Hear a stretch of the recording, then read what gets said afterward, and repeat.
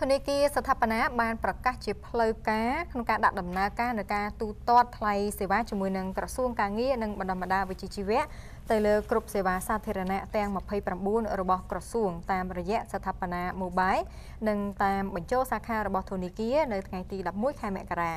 អតិថិជនធនាគារស្ថាបនានឹងទទួលបានភាពងាយស្រួលឆាប់រហ័សជាងមុននិងឥតគិតថ្លៃសេវាក្នុងការទូទាត់ប្រាក់ជាមួយសេវាធនាគាររបស់ ចាជាមួយសេវាសាធារណៈរបស់ក្រសួងការងារនិងបណ្ដុំបណ្ដាវិជ្ជាជីវៈទាំងអស់ដោយគ្រាន់តែត្រូវភ្ជាប់ជាមួយនឹងលេខយោងនៅក្នុងព័ត៌មានបង់ប្រាក់រួចធ្វើការទូទាត់ប្រាក់ដែលមានសេវាកម្មរួមមានការផ្ដល់បានសិភៅគ្រួសារកម្មករនិយោជិតខ្មែរចាដែលមានកម្មករនិយោជិតចាប់ពី101នាក់ឡើងទៅ ការផ្ដល់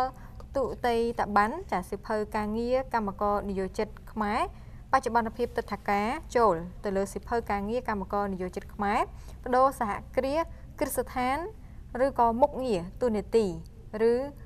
ក្នុងនេះគឺពាក់ព័ន្ធទៅនឹងបច្ចុប្បន្នភាពទឹកថាការចេញ លើសិភៅការងារកម្មករនិយោជិតខ្មែរបដូរសហគ្រាសគ្រឹះស្ថាន ការចោះបញ្ជីការលើសេចក្តីប្រកាសជូនដំណឹងអំពីចលនាបុគ្គលិកចូលក្នុងការចោះបញ្ជីលើសេចក្តីប្រកាសជូនដំណឹងអំពីចលនាបុគ្គលិក ចេញចាការបញ្ជាក់វិញ្ញាបនបត្រពិនិត្យកាយសម្បត្តិកម្មករនិយោជិតខ្មែរការចោះបញ្ជីការសិភៅបញ្ជី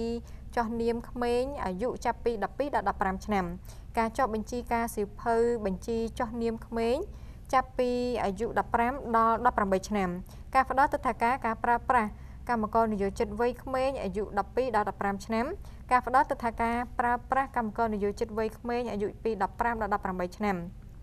ការចុះបញ្ជីការសេចក្តីជូនដំណឹងបើកសហគ្រាសការចុះបញ្ជីការសិភៅបញ្ជីប្រចាំគ្រឹះស្ថាន ការចុះបញ្ជីការសិភៅបើកប្រាក់ផ្ដល់លិខិតអនុញ្ញាតបើកប្រាក់តាមប្រព័ន្ធកុំព្យូទ័រការចុះទិដ្ឋាការប័ណ្ណបញ្ជាផ្ទៃក្នុងរបស់សហគ្រាសការផ្ដល់លិខិតអនុញ្ញាតព្យួរកិច្ចសន្យាការងារការផ្ដល់លិខិតអនុញ្ញាតឲ្យសហគ្រាសគ្រឹះស្ថានធ្វើការបន្ថែមម៉ោងការផ្ដល់លិខិតអនុញ្ញាតឲ្យសហគ្រាស គ្រឹះស្ថានធ្វើការនៅថ្ងៃជប់សម្រាប់ប្រចាំសប្តាហ៍ឬថ្ងៃបុណ្យដែលមានប្រាក់ឈ្នួល ការចេញនៅលិខិតទទួលស្គាល់ការបោះឆ្នោតជ្រើសរើសប្រតិភូបុគ្គលិកសំណុំបែបបត់វឹកវើនកូនជាង ការផ្ដល់បានទទួលស្គាល់ជំនាញវិជ្ជាជីវៈការផ្ដល់វិញ្ញាបនបត្រវឹកវើនកូនជាង ការចោះបញ្ជីការអនុញ្ញាតបើកគ្រឹះស្ថានអប់រំបណ្ដុះបណ្ដាលបច្ចេកទេសនិងវិជ្ជាជីវៈកម្រិតវិញ្ញាបនបត្រវិជ្ជាជីវៈ ចាការចុះបញ្ជីការអនុញ្ញាតបើកគ្រឹះស្ថានអប់រំបណ្ដុះបណ្ដាលបច្ចេកទេសនិងវិជ្ជាជីវៈកម្រិតសញ្ញាបត្រជាន់ខ្ពស់កម្រិតបរិញ្ញាបត្ររងចាបច្ចេកទេសឯកទេស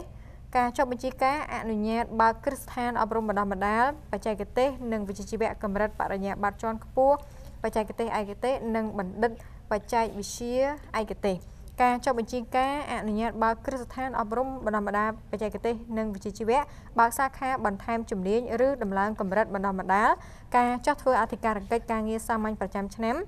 មួយដងក្នុងមួយឆ្នាំសម្រាប់សហគ្រាសគ្រឹះស្ថានផ្នែកវិជ្ជាភ័ណ្ឌកាត់ដេរផលិតស្បែកជើងផលិតផលធ្វើដំណើរនិងកាបូបនិងផលិតផលប្រហាក់ប្រហែល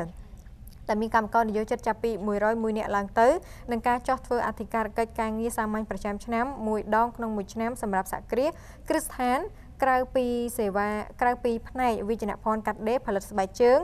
ផលិតផលធ្វើដំណើរនិងកាបូបនិងផលិតផលប្រហាក់ប្រហែល